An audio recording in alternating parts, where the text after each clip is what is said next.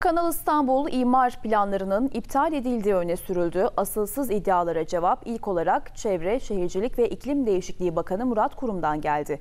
Projeyi tabii ki iptal etmedik, imar planları yürürlükte dedi. Bakanlıktan yapılan açıklamada ise vatandaşlarımıza verdiğimiz sözleri hiç yarıda bırakmadık, bırakmayacağız denildi.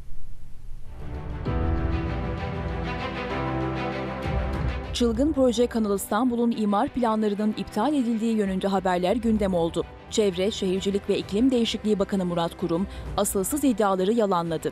Gurur projemizi adım adım hayata geçiriyoruz dedi.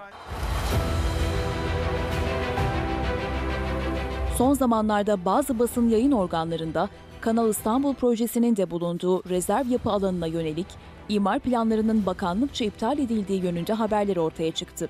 Bu iddialara Bakan Murat Kurum cevap verdi. Kanal İstanbul projemizin de içinde bulunduğu 3 etaptan oluşan toplam 13 bin hektarlık alanın imar planlama süreci 2021 yılı içerisinde tamamlanmış olup söz konusu planlar yürürlüktedir. Haberlerde iddia edildiği gibi imar planlarının iptal edildiği hususu gerçeği yansıtmamaktadır. İmar planları yürürlükte. Gurur projemizi adım adım hayata geçiriyoruz. Yapılan vatandaşlarımızın talep ve ihtiyaçları neticesinde yeni bir imar uygulama değişikliği. Konuya ilişkin bir açıklamada Çevre, Şehircilik ve İklim Değişikliği Bakanlığı'ndan yapıldı. Vatandaşlarımıza söz verdiğimiz hiçbir süreci yarıda bırakmadık, bırakmayacağız denildi.